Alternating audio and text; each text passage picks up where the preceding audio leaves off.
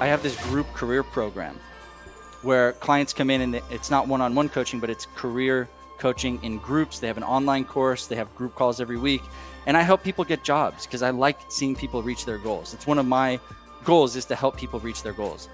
So in this program, when I have a a person that's saying, I'm at that cusp of a six-figure job and I want to land that job. This is like a manager level position and they've been out of work for 6 months.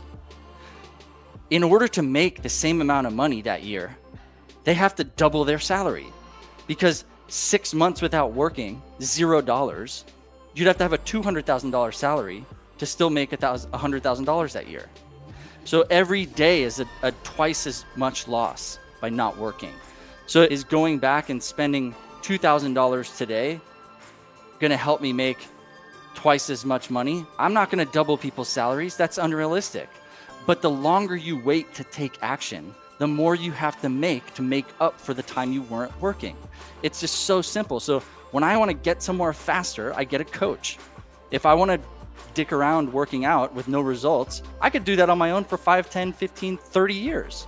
But I don't want to dick around. I want to get someone who knows what they're doing so that I have results in six weeks. And so I always just come back to that. If I don't act today, I need to do twice as much tomorrow. But if I get a coach, I can move more, usually more than twice as fast. So uh, that's, yeah, that's the approach I take. I mean, that's, I think what you said was so brilliant and I, I want people to hear that again. The longer that you wait, the longer you're going to wait for the result.